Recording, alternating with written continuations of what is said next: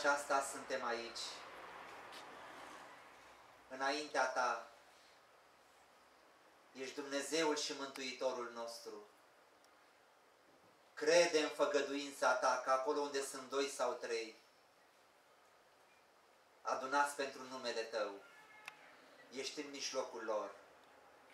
Deschide-ne ochii, Doamne, ochii inimii, ca să putem vedea persoana Ta, să putem vedea sfințenia Ta, dreptatea Ta, să putem vedea iubirea Ta față de noi, să putem vedea în final jertfa Ta ispășitoare, pe Tine cel răstignit pentru noi. O, Doamne Iisuse, descoperă-te Tu! Ai milă de noi, Doamne!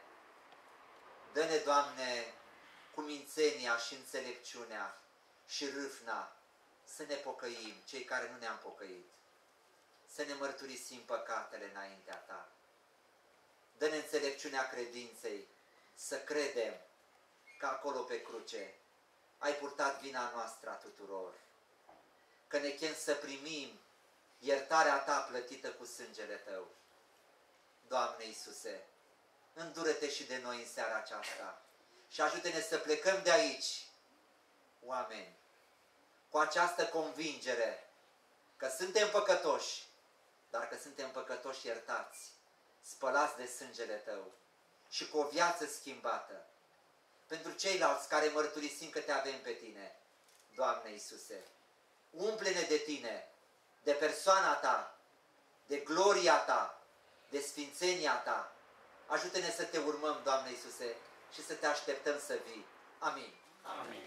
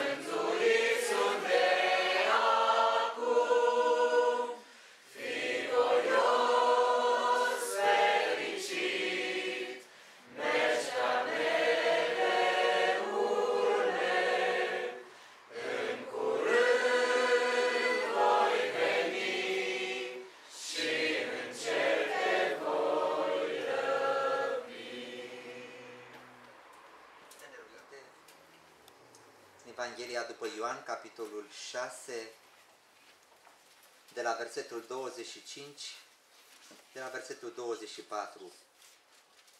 Când au văzut noroadele că nici Isus, nici ucenicii lui nu erau acolo, s-au suit și ele în corăbile acestea și s-au dus la Capernaum să caute pe Isus. Când l-au găsit dincolo de mare, i-au zis, Învățătorule, când ai venit aici? Drept răspuns, Iisus le-a zis, Adevărat, adevărat vă spun că mă căutați, nu pentru că ați văzut semne, ci pentru că ați mâncat din pâinile acelea și v-ați săturat. Lucrați nu pentru mâncarea pieritoare, ci pentru mâncarea care rămâne pentru viața veșnică și pe care vă va da Fiul omului, căci Tatăl, adică însuși Dumnezeu pe El l-a însemnat cu pecetea Lui. Ei au zis, ce să facem ca să săvârșim lucrările lui Dumnezeu? Isus le-a răspuns, lucrarea pe care o cere Dumnezeu este aceasta, să credeți în acela pe care l-a trimis El. Versetul 32. Iisus le-a zis, adevărat, adevărat vă spun că Moise nu v-a dat pâinea din cer, ci Tatăl meu vă dă adevărata pâine din cer, căci pâinea lui Dumnezeu este aceea care se coboară din cer și dă lumii viața. Versetul 35. Versetul 34. Doamne, i-au zis ei, dă-ne totdeauna această pâine. Iisus le-a zis, eu sunt pâinea vieții. Cine vine la mine nu va flămânzi niciodată și cine crede în mine nu va înseta niciodată. Până aici. Lucrurile se întâmplă tot la Capernaum. O mulțime mare care îl caută. S-a spus mai înainte de o mulțime mare care s-a năpustit în casa aceea unde era Domnul Isus ca să asculte. Și de data aceasta privim spre această mulțime care a venit să-L caute și să-L întrebe, când ai venit aici? Și părea că există un interes adevărat. Marea problemă în relația cu Domnul Isus este că ne cunoaște inimile. În relațiile noastre ca oameni ne prefacem, arătăm interes. Putem să spunem că chiar avem bune intenții. Bancă, Cartea Sfântă spune că pe vremea lui unii declarau că ei cred în el. Și Cartea Sfântă spune Iisus nu se încredea în ei, pentru că îi cunoștea pe toți și știa ce este în om. Am venit aici nu ca să ne încredem în noi, ci am venit aici ca să ne încredem în El. Dar atenție, El este acela care poate să confirme cu adevărat dacă noi credem în El. Răspunsul Domnului Isus este un răspuns de reproș. Isus le-a zis, adevărat, adevărat vă spun că mă căutați, nu pentru că ați văzut semne, ci pentru că ați mâncat din pâinile acelea și v-ați săturat. Mai înainte se petrecuse o minune, o minune mare. Din cinci pâini și doi pești, a dat de mâncare la vreo 5.000 de oameni, dacă mai adăugăm și soțiile lor și copiii, probabil că se ridicau la vreo 20 de mii. Să ai asemenea oaspeți. Și să ai asemenea oaspeți nu într-un oraș, ca să te duci la Kaufland sau la, eu știu, la metro sau ca să cumperi. Și să faci asta în pustie. Să întinzi o masă în pustie și să hrănești vreo 20 de mii de oameni. Dar dincolo de această minune, au mâncat, s-au săturat și au decis, te facem împărat. Avem nevoie, avem nevoie de pâine acea de toate zilele. Avem nevoie de mâncare. Și Cartea Sfântă a spus că Domnul Iisus, cum au auzit, cum a înțeles că vor să-l ia cu sila și să-l facă împărat, a plecat. A fugit. S-a dus la munte. Numai el singur. Refuză Domnul Isus să fie împăratul pentru nevoile noastre trecătoare. Avem nevoi trecătoare, dar avem nevoi mai mari. Avem nevoi veșnice. Avem un trup pieritor, dar avem un suflet nepieritor. Și Cartea Sfântă spune aici despre cuvântul acesta, care la prima vedere pare un cuvânt greu de înțeles. Lucrați! Nu pentru mâncarea pieritoare. Când Domnul Isus spune aici despre lucrarea pieri, mâncarea pieritoare, nu se referă la pâine, la grâu, la porumb. Pentru asta trebuie să lucrăm, nu? Ci se referă la mâncarea pieritoare, adică la preocupările noastre pentru sufletele noastre care înlocuiesc mâncarea pentru viața veșnică. Noi suntem în stare să ne înșelăm și să ne hrănim sufletele cu lucruri pieritoare. Dacă facem o casă, avem satisfacție. Nu e rău să-ți faci o casă. Dar dacă te gândești la casă, în loc să te gândești la casa de sus, aceasta e rătăcire, aceasta e înșelare. Nu e rău să ai o masă plină, dar dacă te gândești doar la masa ta și nu te gândești la veșnicie, aceasta este rătăcire, aceasta e amăgire. Trăim într-o vreme în care toți lucrăm pentru lucrarea pieritoare. Care este lucrarea pieritoare? Care este mâncarea pieritoare? Mândria este mâncare pieritoare. Și ce nu face omul pentru mândrie? Puh.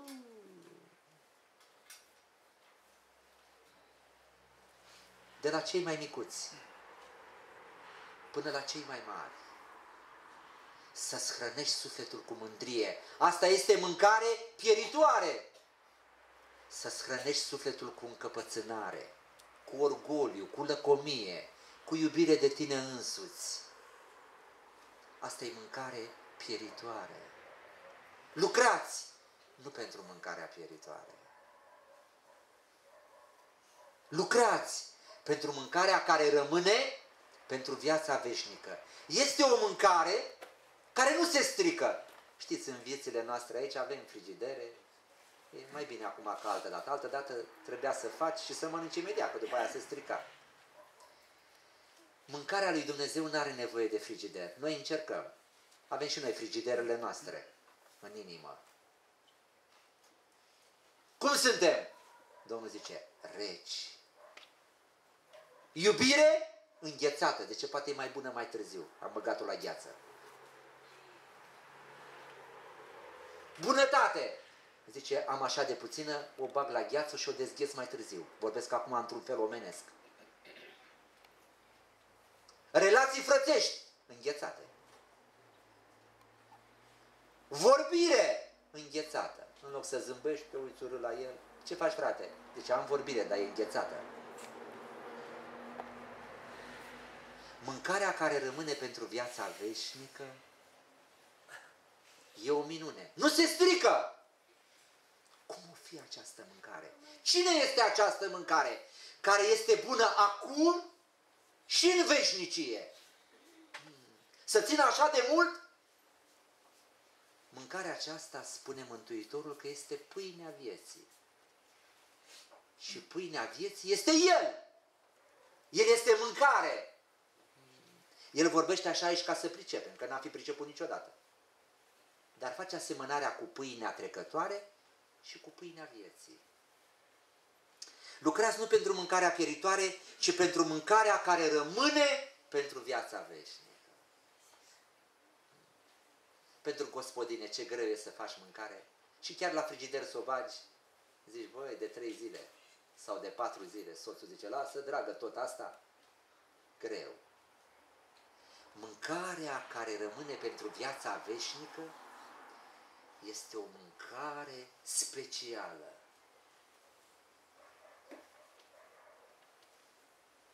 Am să mai revin asupra acestui lucru. Și pe care vă va da Fiul omului. Cum vine asta? Lucrează? Lucrează pentru mâncarea asta. Și ți-o dau eu. Cum e, Doamne, că nu înțeleg. Ori mi-o dai tu, ori lucrez eu. Hotărăște-te! Ori lucrezi eu, ori mi-o dai tu. Asta ar fi după mintea asta.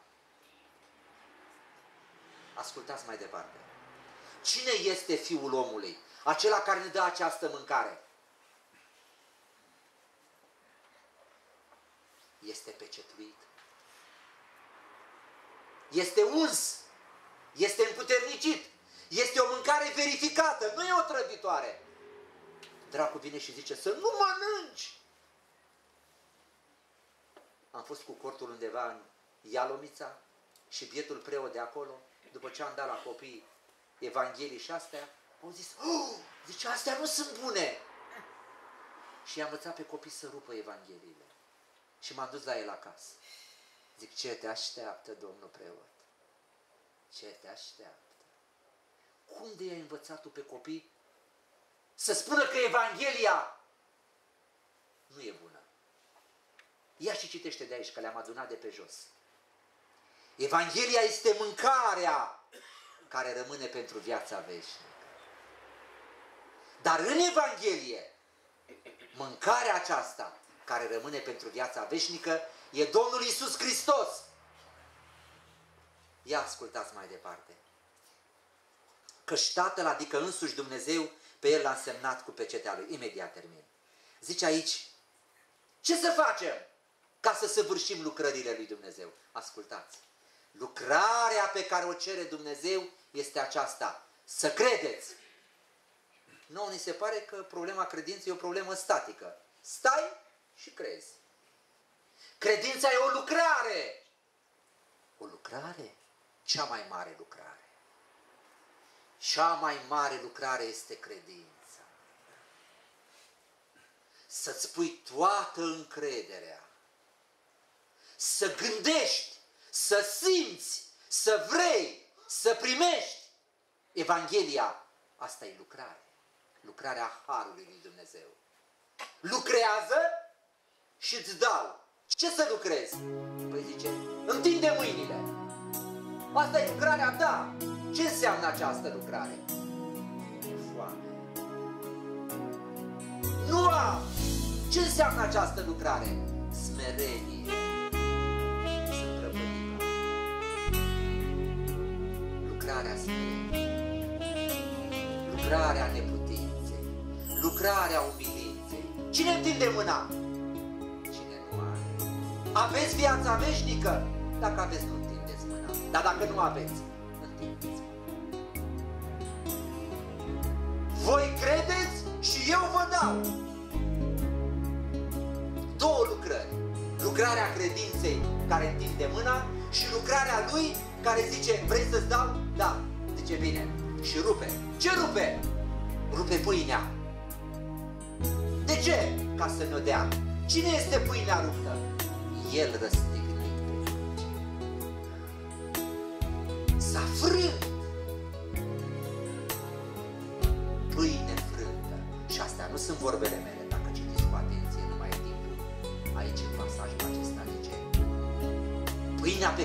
dau eu este trupul meu, care se dă pentru viața mea.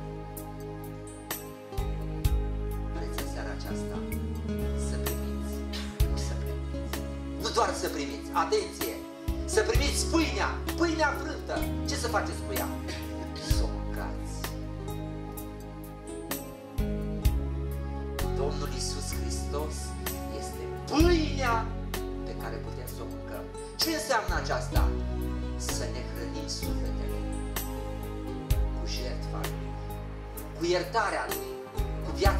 viața veșnică pe care o putem primi. Dacă citiți tot pasajul, oamenii au zis, vorbirea asta e prea de tot. Cum poate să ne dea omul acesta trupului să mâncăm? Și Domnul Iisus în loc să intre în panică, te spune așa, cu smerenie. Duhul este acela care dă viața. Adică lucrurile trebuie înțelese într-un înțeles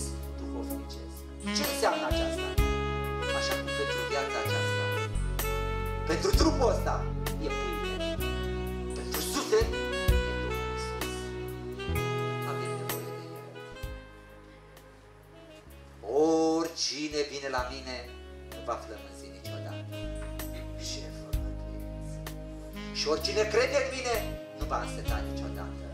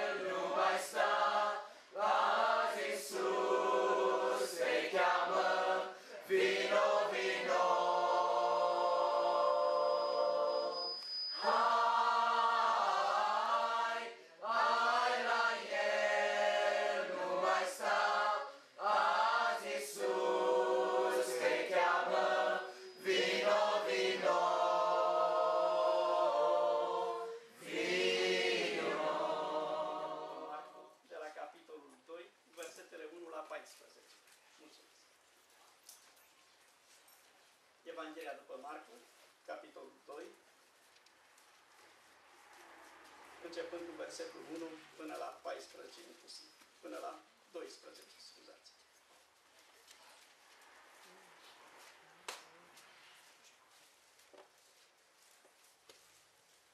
După câteva zile, Iisus s-a întors în Capernaum.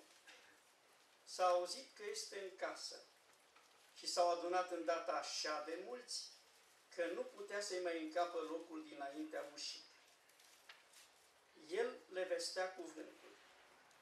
Au venit la el niște oameni care i-au adus un slăbănoc purtat de patru inși. Fiindcă nu puteau să ajungă până la el din pricina norodului, au desfăcut acoperișul casei unde era Isus și după ce l-au spart, au coborât pe acolo patul în care zăcea slăbănogul. Când le-a văzut Isus credința, a zis slăbănogului, Fiule, păcatele sunt iertate. Unii din cărturari care erau de față se gândeau în inimile lor. Cum vorbește omul acesta astfel? Ulește! Cine poate să ierte păcatele decât numai Dumnezeu? Îndată Iisus a cunoscut prin Duhul Său că ei gândeau astfel în ei. Și le-a zis, pentru ce aveți astfel de gânduri în inimile voastre? Ce este mai lesne? A zice slăbănogului, păcatele sunt iertate, ori a zice, scoală-te, ridică spatul și umblă. Dar ca să știți că Fiul omului are putere pe pământ să ierte păcatele, ție-ți poruncesc, a zis el slăbănogului, scoală-te, ridică spatul și du-te acasă. Și îndată slăbănogul s-a sculat și a ridicat patul și a ieșit afară în fața tuturor.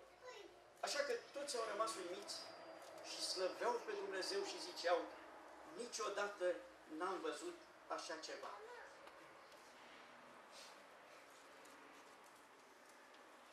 Suntem la începutul lucrării publice în trup a Domnului Iisus Hristos pe pământul nostru și ne oprim și poposim puțin aici în Capernaum. Capernaum, cetate pe malul Mării Galilei, unde Domnul Hristos înțelege că mai trecuse cu ceva zile în urmă. Vestea revenirii Mântuitorului în cetatea Capernaum se pare că așa de repede s-a dus, aveam noi o expresie pe aici, pe la noi, zice Radio Șanț, așa de repede a alergat de la om la om, că spune, s-au adunat atât de mulți acolo unde trăsese Domnul Hristos, că nu mai încăpea nici locul dinaintea ușii. Se umpluse încăperea, probabil s-au umplut și e, în curte.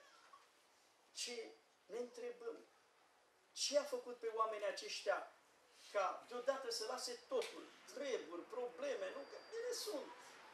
Fiecare dintre noi suntem prinși ba, într Totuși, dacă mai îngăduiți puțin, în norodul acesta adunat și care avea să crească numeric la mii și chiar 20.000 de suflete circa în alte circunstanțe, în alte momente ale e, lucrării publice a Domnului Hristos, norodul acesta era tare eterogen, tare pestriț. Erau și în el fel și fel de oameni. Nu înseamnă că toți care veneau și veneau să asculte și toți erau chiar bine intenționați și toți numai cu gânduri bune. De exemplu, în norodul acesta erau unii care totuși, dacă mai îngăduiți puțin, în norodul acesta adunat și care avea să crească numeric la mii și chiar 20.000 de suflete circa în alte circunstanțe, în alte momente ale lucrării publice a Domnului Hristos, norodul acesta era tare eterogen, tare pestriț. Erau și în el fel și fel de oameni. Nu înseamnă că toți care veneau și veneau să asculte și toți erau chiar bine intenționați și toți numai cu gânduri bune. De exemplu, în norodul acesta erau unii care totuși, dacă mai îngăduiți puțin, în norodul acesta adunat și care avea să crească numeric la mii și chiar 20.000 de suflete circa în alte circunstanțe, în alte momente ale e, lucrării publice a Domnului Hristos, norodul acesta era tare eterogen, tare pestriț.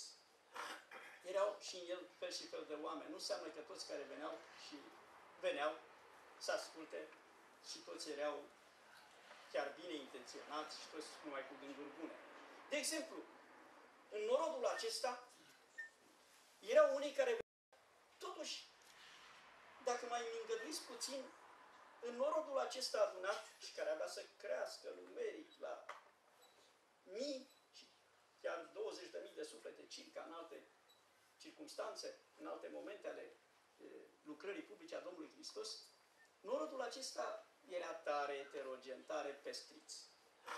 Erau și în el fel și fel de oameni. Nu înseamnă că toți care veneau și veneau să asculte și toți erau chiar bine intenționați și toți numai cu gânduri bune.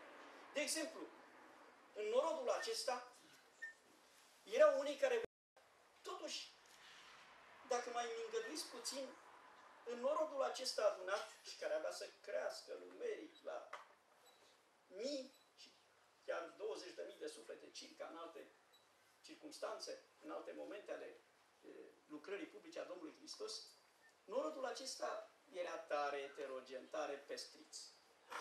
Erau și în el fel și fel de oameni. Nu înseamnă că toți care veneau și veneau să asculte și toți erau chiar bine intenționați și toți numai cu gânduri bune.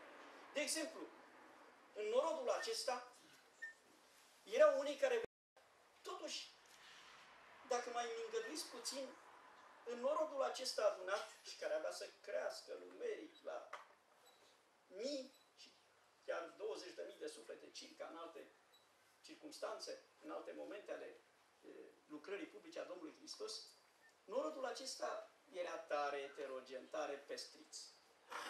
Erau și în el fel și fel de oameni. Nu înseamnă că toți care veneau și veneau să asculte și toți erau chiar bine intenționați și toți numai cu gânduri bune.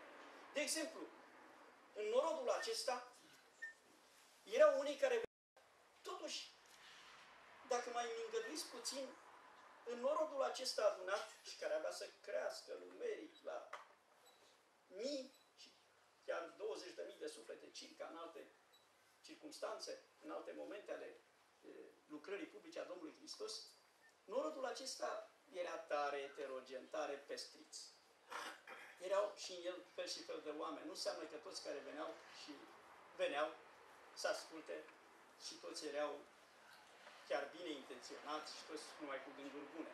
De exemplu, în norodul acesta erau unii care totuși, dacă mai îngăduiți puțin, în norodul acesta adunat și care avea să crească numeric la mii și chiar 20.000 de suflete circa în alte circunstanțe, în alte momente ale e, lucrării publice a Domnului Hristos, norodul acesta era tare eterogen, tare pestriț. Erau și în el fel și fel de oameni. Nu înseamnă că toți care veneau și veneau să asculte și toți erau chiar bine intenționați și toți numai cu gânduri bune.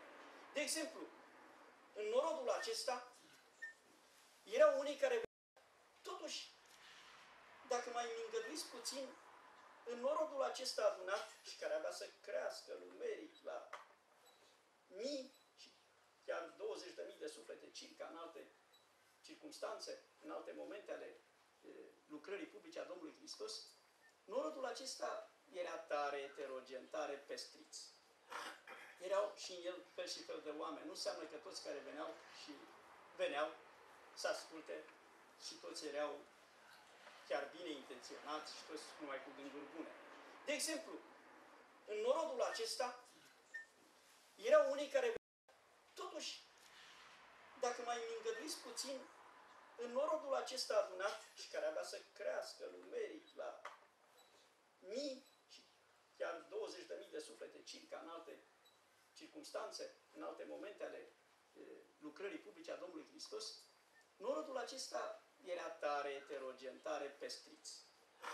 Erau și în el fel și fel de oameni. Nu înseamnă că toți care veneau și veneau să asculte și toți erau chiar bine intenționați și toți numai cu gânduri bune.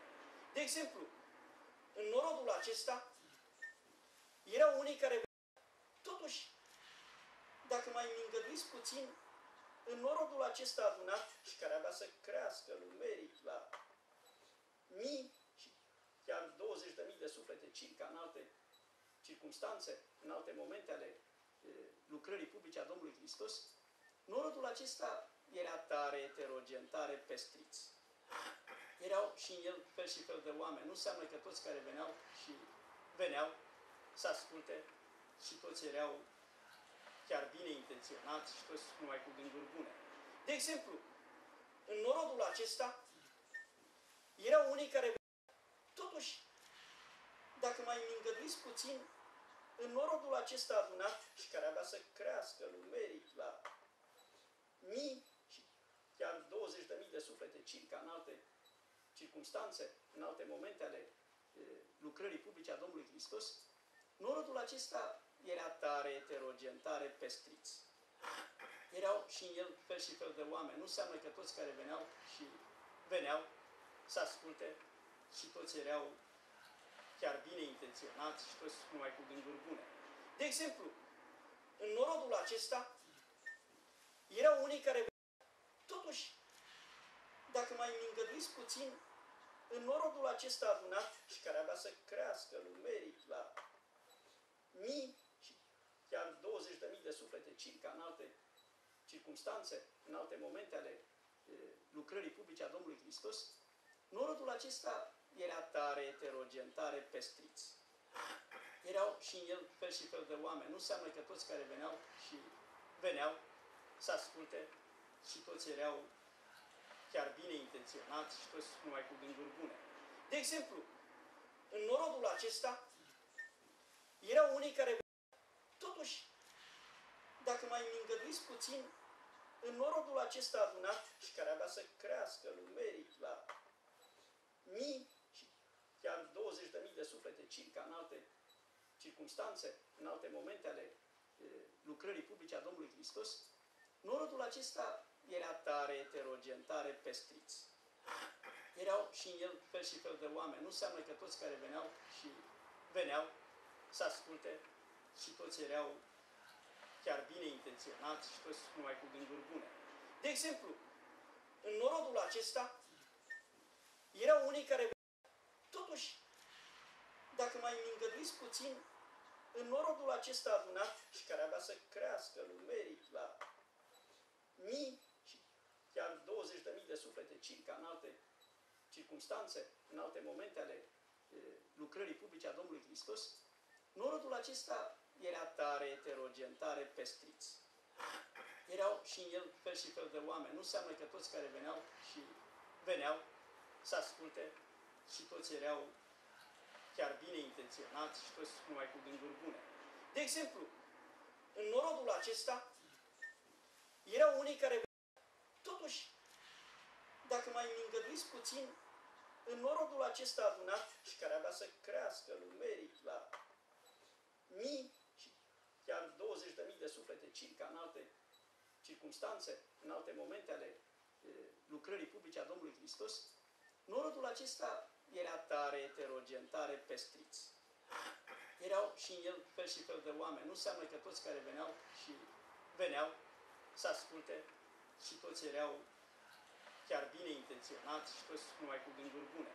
De exemplu, în norodul acesta erau unii care totuși, dacă mai îmi îngăduiți puțin, în norodul acesta adunat și care avea să crească numeric la mii și chiar 20.000 de suflete circa în alte circunstanțe, în alte momente ale e, lucrării publice a Domnului Hristos, norodul acesta era tare eterogen, tare pestriț. Erau și în el fel și fel de oameni. Nu înseamnă că toți care veneau și veneau să asculte și toți erau chiar bine intenționați și toți numai cu gânduri bune.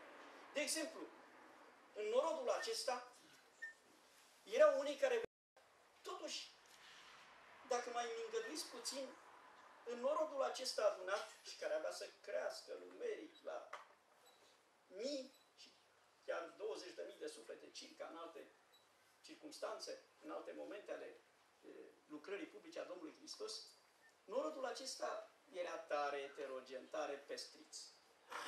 Erau și în el fel și fel de oameni. Nu înseamnă că toți care veneau și veneau să asculte și toți erau chiar bine intenționați și toți numai cu gânduri bune. De exemplu, în norodul acesta erau unii care totuși, dacă mai îmi îngăduiți puțin, în norodul acesta adunat și care avea să crească numeric la mii și chiar 20.000 de suflete circa în alte circunstanțe, în alte momente ale e, lucrării publice a Domnului Hristos, norodul acesta era tare eterogen, tare pestriț.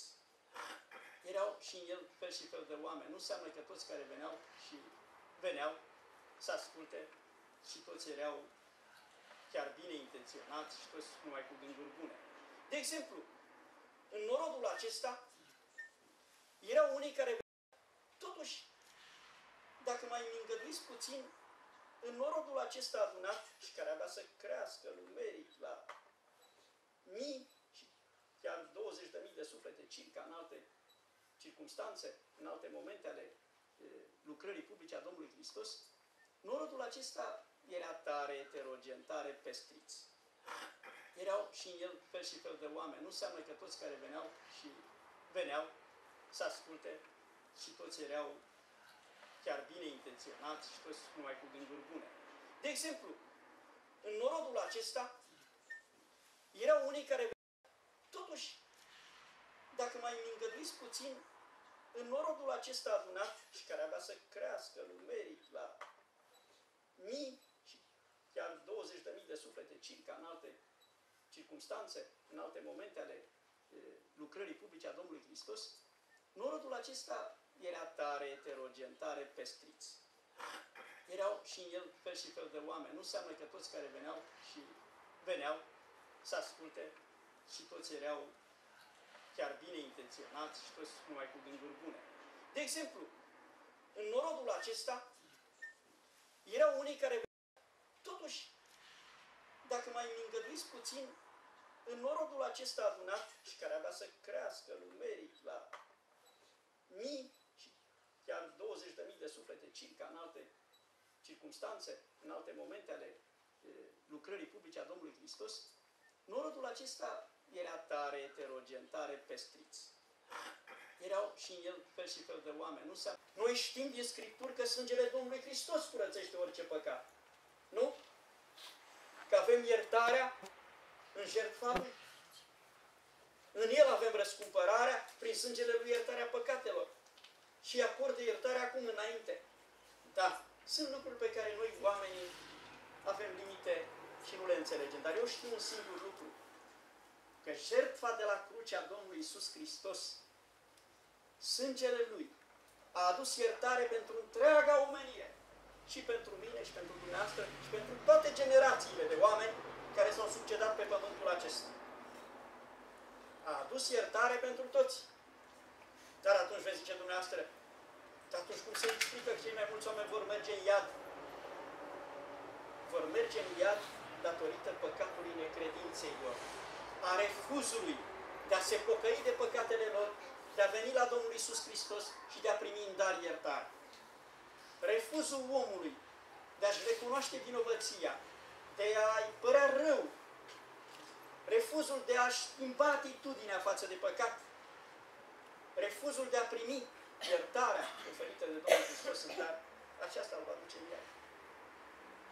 Dumnezeu voiește ca toți oamenii să fie mântuiți și să vină la cunoștința adevărului. Ca niciunul să nu piară, ci toți să vină la pocăință. Aceasta este voia lui Dumnezeu. Fiindcă atât de mult a iubit Dumnezeu lumea, că a dat pe singurul Fiu, pentru ca oricine crede în El să nu piară, ci să aibă viața veșnică.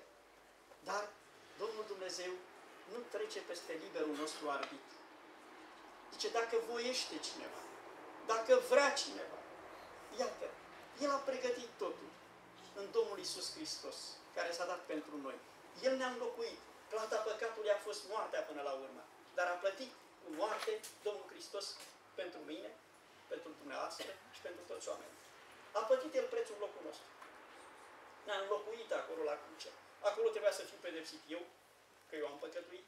Trebuia să fim pedepsiți noi. Trebuia să suferim noi. Și suferința noastră ar fi fost aceasta. Iazul de foc și de crucioasă pentru vecii vecilor. Și Domnul Hristos a luat asupra Lui păcatele mele, păcatele dumitale, păcatele noastre ale tuturor, le-a purtat în trupul său pe leu. A făcut ispășire pentru ele, cum ne spune cuvântul lui Dumnezeu. Și acum iertarea noastră este slavă lui Dumnezeu. Că ne iubit. El ne-a adus iertarea. Dar vreau eu, recunosc eu că sunt păcătos, mă apasă pe mine vina mea, păcatul meu, ce am comis eu. Cum mai... Eu stau adesea și mă gândesc, cum pot sta semenii noștri? Că nu se poate să nu realizeze fiecare că e păcătos. Decât mai spune că se compară cu unul și altul, zice, eu n-am spart casa nimănui, uh, n-am omorât pe nimeni. Da, nu l-ai făcut pe ăstea două. Dar dacă e vorba chiar de omorât, dați-mi voie să vă spun. Și potrivit Scripturii, toți suntem și ucigași. Nu ne cutremurăm, nu? Dar suntem și ucigași, potrivit felului lui Dumnezeu de a cântări lucrurile. Și când spun aceasta am în vedere ura. E cineva care n-a urât pe cineva vreodată între noi? N-ați urât niciodată? Eu cred că ați urât. Dar nu mai e o persoană, poate mai mulți. Pe mai mulți ați urât. Oricine urăște pe fratele său este un ucigaș. N-a degenerat în ucidere pentru că, mă rog, sunt și legile care sunt și pedeapsa care vine și așa mai departe. Deci, iată, până și la capitolul acesta, omul nu-și dă seama că minte când spune n-am omorât pe nimeni niciodată. Pe câte ori au, au urât pe cineva, e ca și cum au ucis înaintea lui Dumnezeu. Tot păcat este. Oamenii au felul lor de a cântări. Dar Dumnezeu ne arată că suntem atât de păcătoși când privim la El.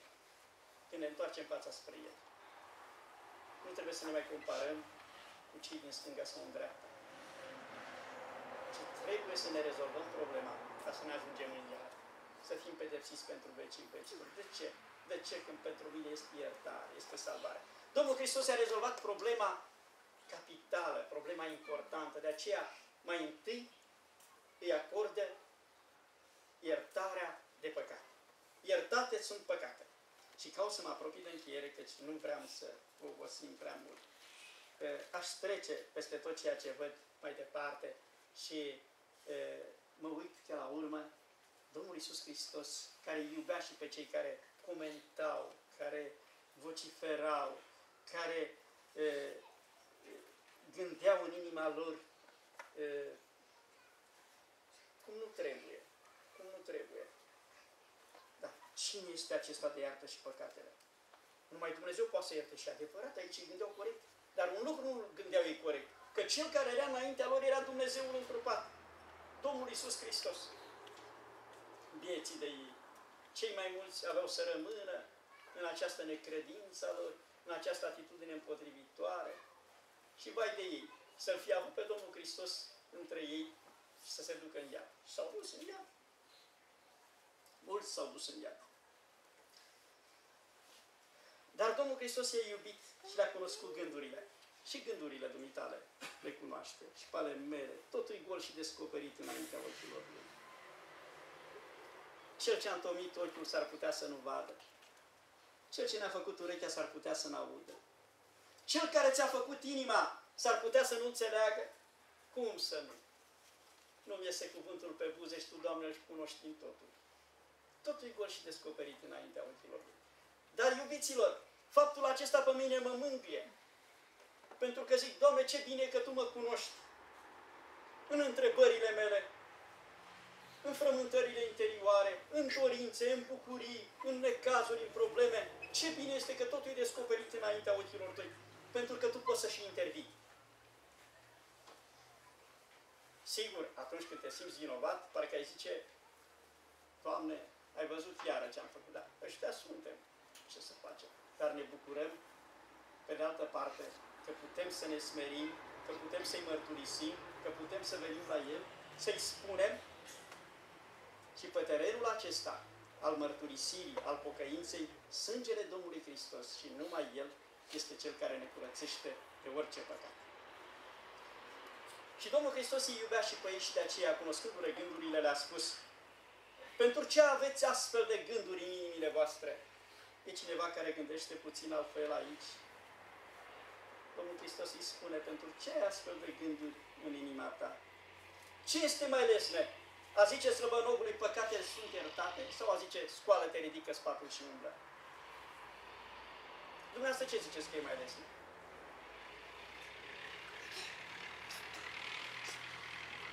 Mă gândesc că la Domnul Hristos era la fel de lesne, la fel de ușor, să spună și una și alta. Dar totuși, totuși, chiar din punctul de vedere al Mântuitorului, a spune iertate sunt păcatele, Mântuitorul știa ce preț avea să plătească pentru aceasta.